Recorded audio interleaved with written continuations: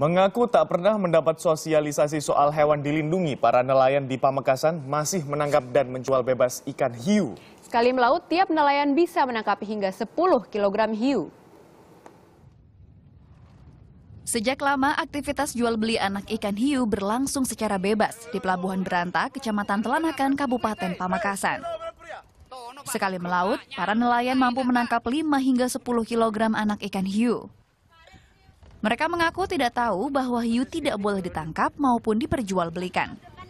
Ya kadang sampai satu 10 kilo begini.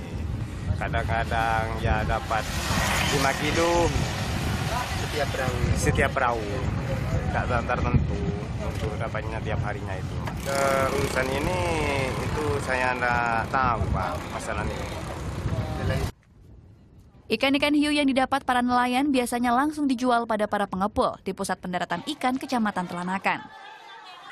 Harga 1 kg anak ikan hiu dijual bervariasi mulai dari Rp10.000 hingga Rp30.000 per kilogram.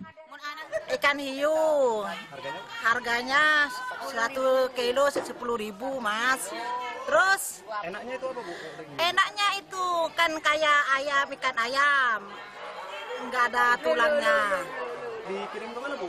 Dikirim ke Surabaya. Hmm, ke restoran. Kalau dipanggang enak, Mas.